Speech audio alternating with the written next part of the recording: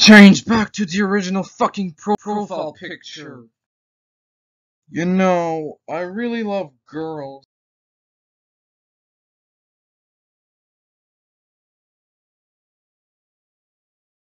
no,